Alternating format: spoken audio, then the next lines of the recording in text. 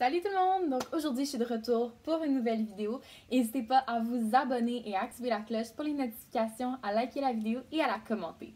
Donc aujourd'hui, on fait un bookshelf makeover. Donc, euh, comme vous voyez pas trop clairement ici, euh, c'est euh, un arc-en-ciel que j'ai dans ma bibliothèque. Et là, c'est que c'est pas tout le temps facile. En fait, je suis capable de me retrouver dans mes livres quand ils sont en arc-en-ciel, ça, ça va. Mais le truc, c'est que euh, c'est plus difficile de les ranger. Parce que mon arc-en-ciel est comme parfait quand je le place, mais après ça, quand je prends un livre, après ça, je veux le ranger, je sais même plus où le mettre pour que ça fitte dans le dégradé. Donc, euh, c'est vraiment très compliqué. Et cette fois-ci, j'ai décidé d'y aller avec l'ordre alphabétique du nom de famille. Donc, euh, je vais mettre ça en ordre. Comme ça, les séries vont être avec les séries. vraiment, j'aurai pas besoin de me casser la tête. Ça va peut-être être un peu moins beau euh, visuellement, mais ça va être super pratique. Et en plus, eh bien, on commence une nouvelle année 2021 bientôt. Donc, euh, pourquoi pas commencer l'année avec une nouvelle bibliothèque? Donc, c'est ça que je me suis dit. Aujourd'hui, je fais le Bookshelf Makeover. Donc, euh, vous allez être là avec moi pour faire ça.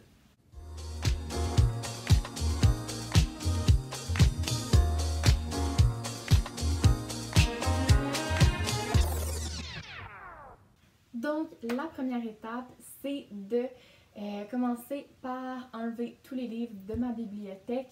Euh, donc, j'ai déjà commencé en haut ici. Donc, je vais le faire en fait par rangée. Je vais les classer en ordre alphabétique. Puis après ça, je vais tous les mettre ensemble pour que ça soit plus simple. Sinon, ça va être un fouillis extraordinaire.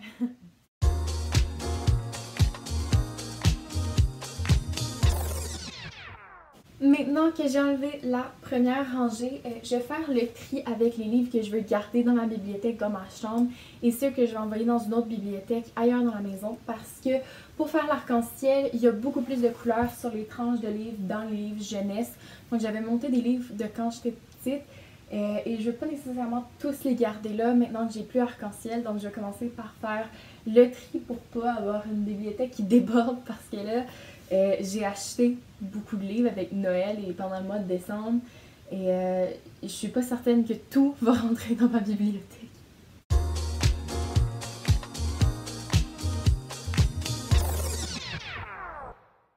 Donc, j'ai vidé ma première tablette et là, ce que je vais faire, c'est que je vais chercher les ordres alphabétiques, donc A, B, C, etc. Et euh, après ça, je vais aller les mettre là. Comme ça, je vais avoir assez de place. Donc, euh, je vais chercher les A dans tout ça.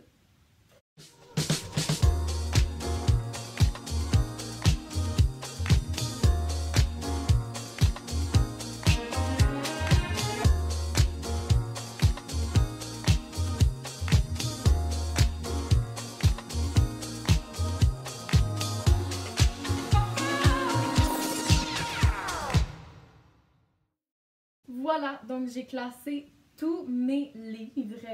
Euh, j'en ai vraiment beaucoup.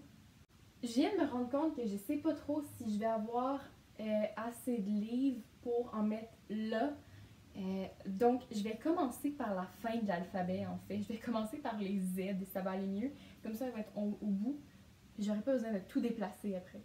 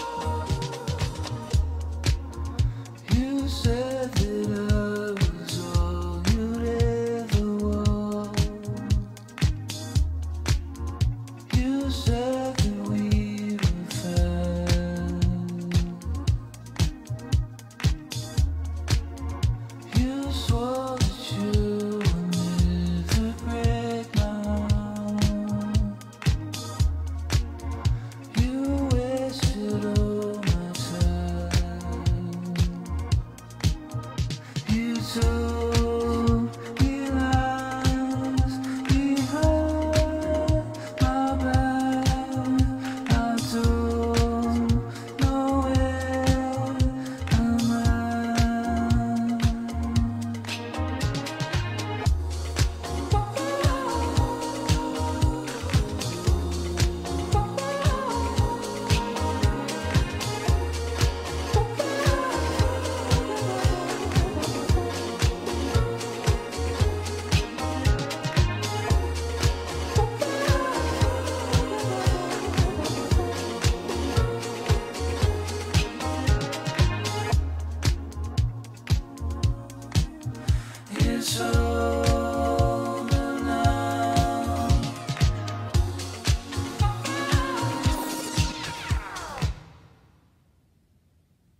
Donc voilà, j'ai terminé mon bookshelf makeover. C'est sûr que ça donne pas un résultat aussi beau visuellement que quand j'ai fait euh, mon bookshelf makeover en arc-en-ciel.